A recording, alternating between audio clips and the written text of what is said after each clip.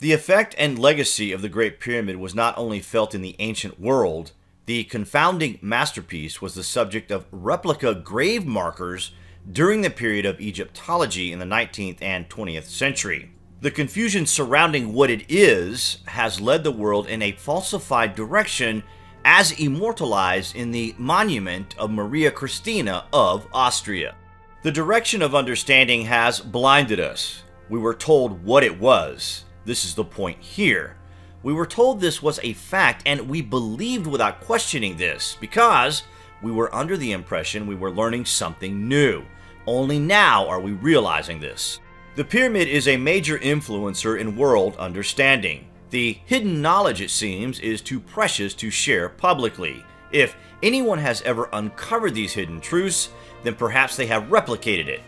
Maybe in a highly exploratory manner, world governments and private researchers have secretly studied the dimensions of the monument and exercised a public experiment in a very secretive architectural type of way, maybe. All across the world, the Great Pyramid has been replicated.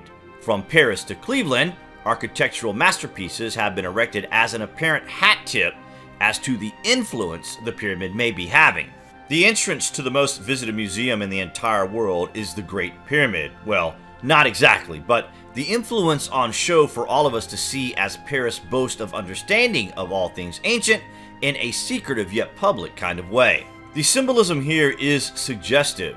You enter the pyramid and go all the way down to the museum.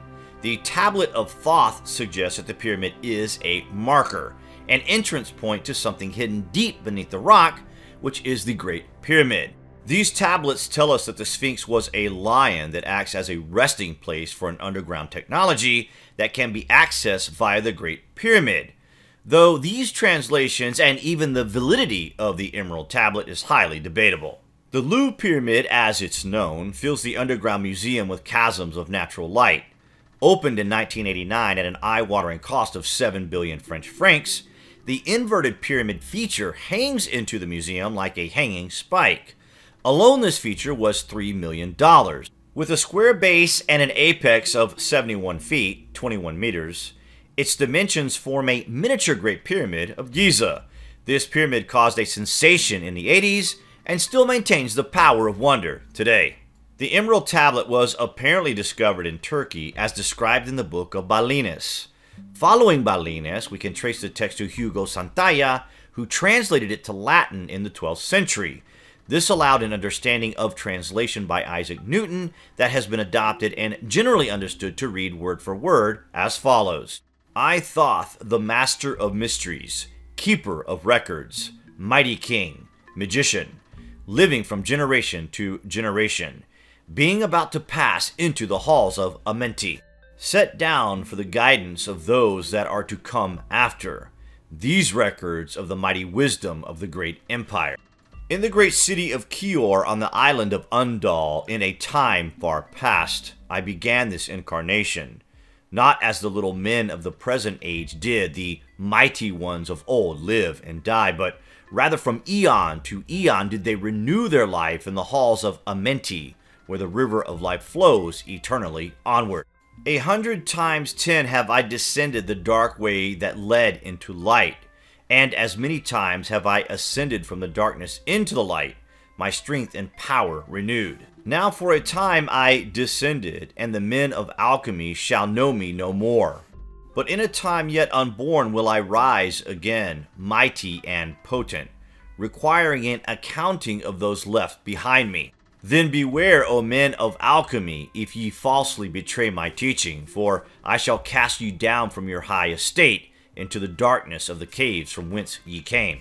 Betray not my secrets to the men of the north or the men of the south, lest my curse fall upon ye. Remember and heed my words, for surely will I return again, and require of thee that which ye guard.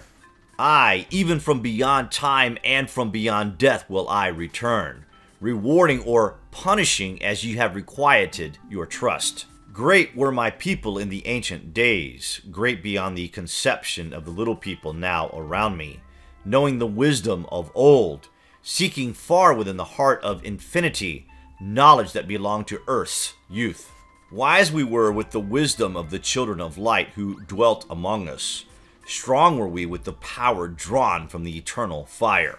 And all of these, greatest among the children of men was my father, Thotme, keeper of the great temple, link between the children of light who dwelt within the temple and the races of men who inhabited the ten islands. Mouthpiece after the three of the dweller of Unal, speaking to the kings with a voice that must be obeyed.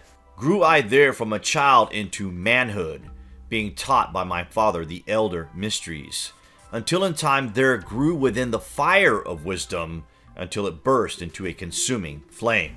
Not desired I, but the attainment of wisdom, until a great day that command came from the dweller of the temple, that I be brought before him. Few there were among the children of men who had looked upon the mighty face and lived, for not as the sons of men are the children of light when they are not incarnate in a physical body. Chosen was I from the sons of men, taught by the dweller that his purpose might be fulfilled purposes yet unborn in the womb of time.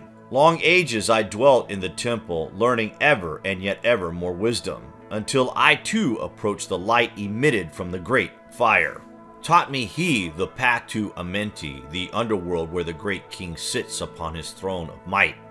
Deep I bowed in homage before the lords of life and the lords of death, receiving as my gift the key of life. Free was I of the halls of Amenti, bound not by death to the circle of life. Far to the stars I journeyed until space and time became as naught. Then, having drunk deep of the cup of wisdom, I looked into the hearts of men, and there found I great mysteries and was glad. For only in the search for truth could my soul be stilled and the flame within be quenched. Down through the ages I lived, seeing those around me taste of the cup of death and return again in the light of life. Gradually, from the kingdoms of the empire passed waves of consciousness that had been one with me, only to be replaced by spawn of a lower star. In obedience to the law, the word of the Master grew into flower. Downward into darkness turned the thoughts of the ancients until at last in this wrath arose from his Agwanti, the dweller speaking the word, calling the power.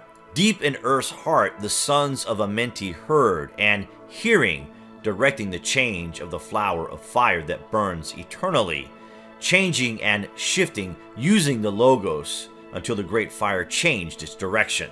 Over the world then broke the great waters, drowning and sinking, changing Earth's balance until only the Temple of Light was left, standing on the great mountain of Undal, still rising out of the water.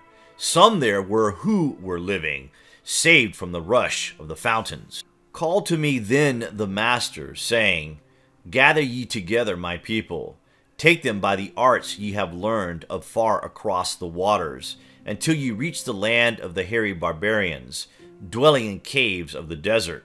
Follow there the plan that ye know of. Gathered I then my people and entered the great ship of the Master. Upward we rose into the morning. Dark beneath us lay the temple. Suddenly over it rose the waters, vanished from earth until the time appointed was the great temple. Fast we fled toward the sun of the morning, until beneath us lay the land of the children of alchemy. Raging they came with cudgels and spears, lifted in anger, seeking to slay and utterly destroy the sons of Atlantis. Then raised I my staff and directed a ray of vibration, striking them still in their tracks as fragments of stone of the mountain. Then spoke I to them in words calm and peaceful, telling them of the might of Atlantis saying we were children of the sun and its messengers. Cowed I them by my display of magic science, until at my feet they groveled when I released them.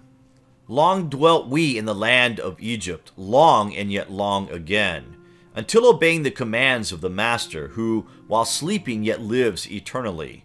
I sent from me the sons of Atlantis, sent them in many directions that from the womb of time wisdom might rise again in her children.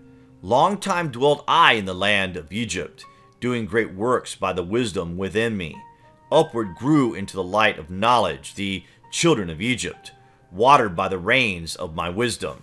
Blasted I then a path to Amenti so that I might retain my powers, living from age to age a son of Atlantis, keeping the wisdoms, preserving the records. Grew great the sons of Egypt, conquering the people around them, growing slowly upward in soul force. Now for a time I go from among them into the dark halls of Amenti, deep in the halls of the earth, before the lords of the powers face to face once again with the dweller. Raised I high over the entrance, a doorway, a gateway leading down to Amenti. Few there would be with courage to dare it, few passed the portal to dark Amenti. Raised over the passage, I, a mighty pyramid, using the power that overcomes Earth's gravity. Deep and yet deeper place I a force house or chamber, from it carved I a circular passage reaching almost to the great summit. There in the apex set I the crystal, sending the ray into the time-space, drawing the force from out of the ether, concentrating upon the gateway to Amenti. Other chambers I built and left vacant to all seeming, yet hidden within them are the key to Amenti. He who in courage would dare the dark realms, let him be purified first by long fasting. Lie in the sarcophagus of stone in my chamber, then reveal I to him the great mysteries. Soon shall he follow to where I shall meet him. Even in the darkness of earth shall I meet him. I, Thoth, Lord of wisdom, meet him and hold him, and dwell with him always. Build I the great pyramid, patterned after the pyramid of earth force burning eternally so that it too might remain through the ages. In it I build my knowledge of magic science, so that I might be here when again I return from Amenti. I, while I sleep in the halls of Amenti, my soul roaming free will incarnate, dwell among men in this form or another.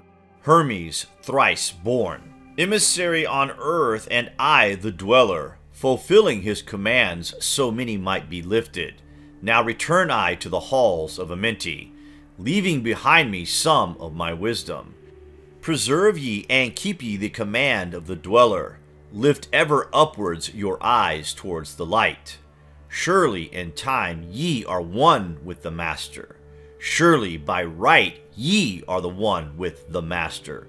Surely by right yet are one with the All. Now I depart from ye. Know my commandments, keep them, and be them, and I will be with you, helping and guiding you into the light. Now, before me opens the portal, go I down in the darkness of night. No one knows what became of the original tablet. What remains are translations and translations of translations along with a historic timeline punctuated with disconnects and gaps. The tablet appears and disappears across the ancient world before and after the birth of Christ, with periods of revival, including the Italian Renaissance. One of the most mysterious documents ever put before the eyes of man, the Emerald Tablet has been described as everything from a succinct summary of philosophy to an extraterrestrial artifact or a gift from the lost civilization, a time when gods walked among us. Believed to have been a contemporary of the historical Abraham of the Old Testament, Hermes Trismegistus was said to have traveled throughout Egypt, Greece, and Mesopotamia. He was associated with Thoth, the Egyptian god of wisdom, writing, magic, and the sciences, patron god of the sacred scribes. Thoth's name and qualities were synonymous with the Greek god Hermes, and the earthly Hermes, honorific Trismegistus, translates to thrice great. Some assert that the man was, in fact, God's incarnation.